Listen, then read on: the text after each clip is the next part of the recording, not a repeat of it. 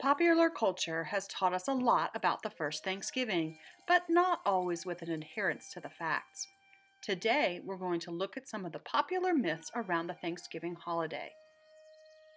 The pilgrims and natives gathered for a meal and called it Thanksgiving.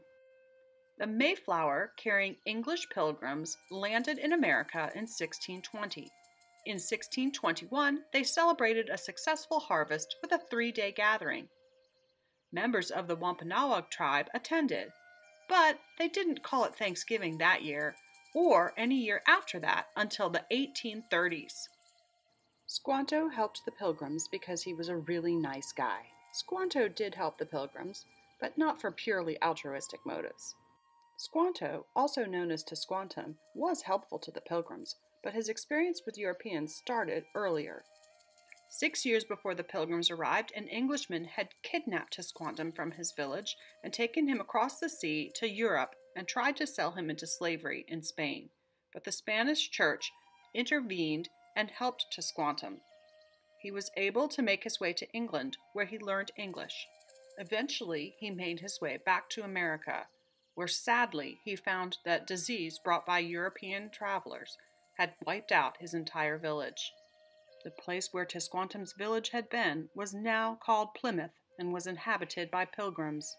Because of his command of English, Tisquantum was used as a go between between the Wampanoag people and the pilgrims. While religious leaders used Squanto as an example of the noble savage, Squanto's decision to help the pilgrims was based partially in his poor relationship with his chief and his ability to use his relationship with the pilgrims to his advantage the pilgrims invited the natives to a feast to celebrate peace and friendship. According to Wampanoag history, the relationship between the two groups began as a treaty between the Wampanoag leader, Yellow Feather, and John Carver, the first governor of the colony. The two groups agreed to mutually defend each other against their enemies, other tribes in the area. Thanks to the help of Squanto, the pilgrims had a good harvest and wanted to celebrate with a feast. According to one account, as part of the celebration, the pilgrims fired guns and cannons into the air. When the Wampanoag heard the commotion, they came running to honor their end of the treaty. They brought 90 Wampanoag warriors with them, who were then able to join the feast. The pilgrims came to the New World seeking religious freedom.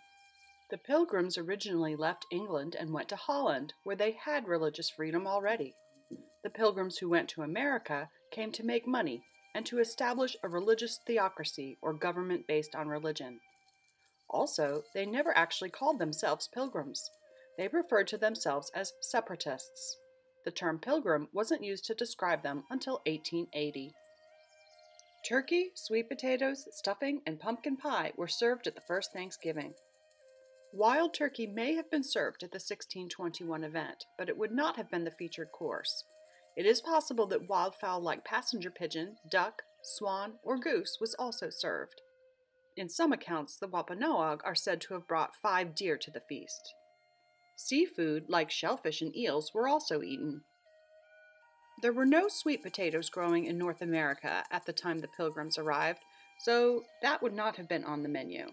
But they did have cornmeal, cranberries, blueberries, gooseberries, and succotash. The settlers could not have made pies because they had no flour for a crust and no ovens for baking. Instead, they could take a pumpkin, hollow out the shell, fill it with milk, honey, and spices, and roast the entire thing in hot ashes.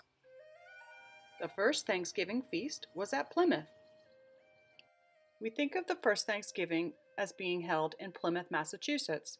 But years earlier, in 1565, a Spanish fleet came ashore and had a celebratory feast with the native Timucuan people in St. Augustine, Florida.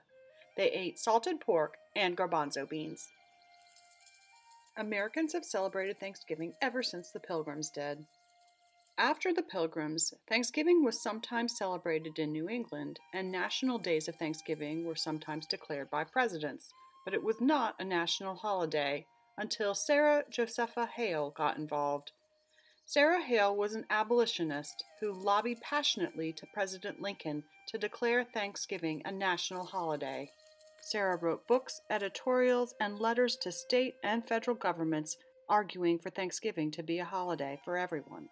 After 35 years of lobbying, Sarah finally got her wish when President Lincoln declared Thanksgiving a national holiday.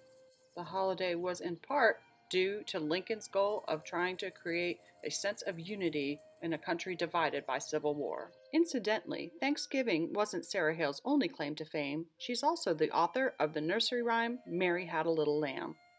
Thanksgiving isn't a day of celebration for all Americans. For many Native Americans, the day is a reminder of all the injustices that their people have endured since the first Europeans arrived. In New England, some Native Americans recognize Thanksgiving Day as the National Day of Mourning.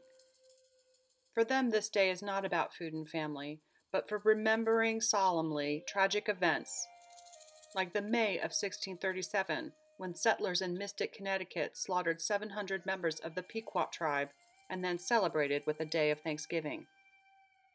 In 2008, George W. Bush declared the Friday after Thanksgiving to be Native American Heritage Day. Ideally, Americans should study and know the history of all of their people so that they can better understand their past and better live their future.